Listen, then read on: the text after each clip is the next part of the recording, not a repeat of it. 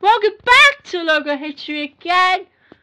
And this time, we are going to talk about the ASB, Astro Space Broadcasting. And now, let's talk about it.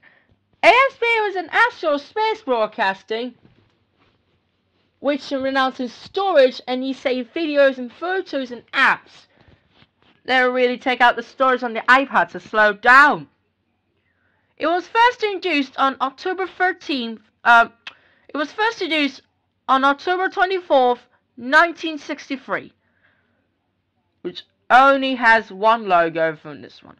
So I have only have one logo for this one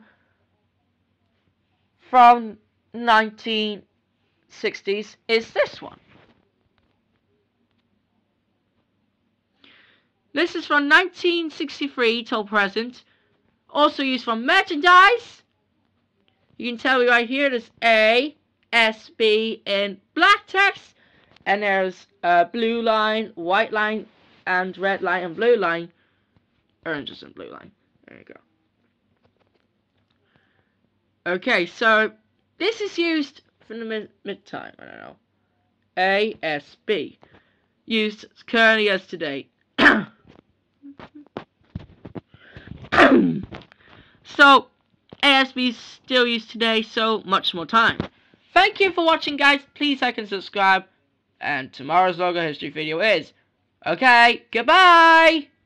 Goodbye!